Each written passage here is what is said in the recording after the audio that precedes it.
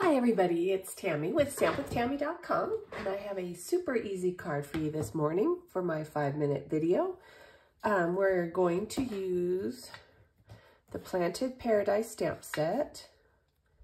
It's really cool. You use, um, if you turn the stamp upside down or backwards on the stamp block, you can do a solid image.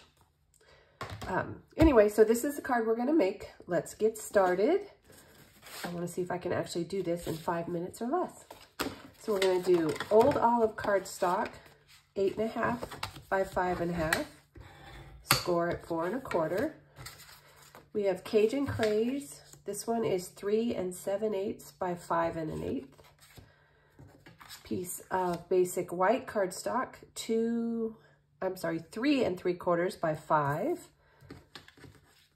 Another Cajun Craze, two and seven eighths by two and an eighth. And don't worry, these will all be posted down below.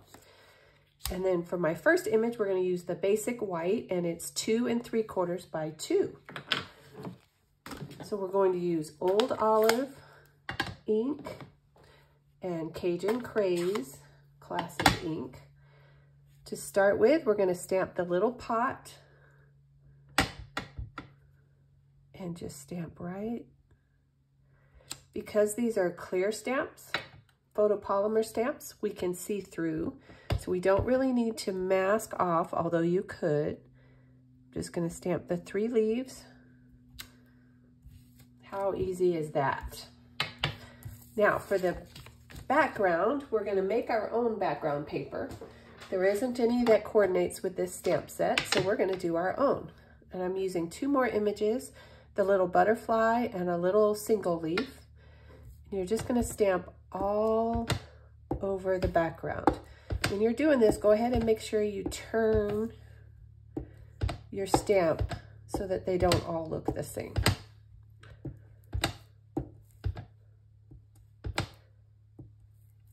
Oops. Just like that. And we're gonna use the butterfly and Cajun Craze and then just fill in. These two images are pretty much the same size, but if you're making your own, it's easiest, well, I find it's easier to start with a larger, the largest image that you're using and work your way down to the smallest image.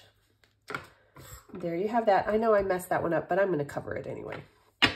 So now it's just a matter, oh, let me put these away so I don't stick my cardstock in them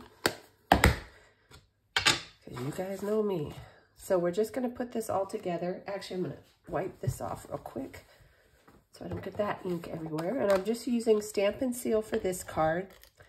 Um, I've had some questions about what my favorite adhesive is. I don't really, well, I would probably say Stampin' Dimensionals because I seem to use those on every card. But uh, sometimes I use the Stampin' Seal and sometimes I use the liquid glue for my main things. Um, the Stampin' Seal Plus is really good for boxes and things that you really need to, you need it to stick. But I find the seal works really well. Of course, I am in a dry climate. My upline is in Ohio and they use liquid glue a lot more just because of the humidity there. Okay, then I'm going to pop this up on Stampin' Dimensionals. One in each corner is fine. Just take those off. You can use your take uh, pick me up tool if you can't get them off. I'm just going to put that in the middle. And then I'm going to use the pick me tool. And these are adhesive back sparkle gems. And I'm just going to add three of the clear ones for a little bit of sparkle. One.